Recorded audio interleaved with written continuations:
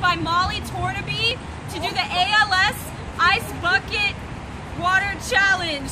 Um, I'm really excited to spread awareness and donate to this cause. I nominate my best friend Irene DeVera and my sisters, Brian, Hannah Donnelly, and Kelsey Foster. You have 24 hours. These are my students and my principal, and they are going to be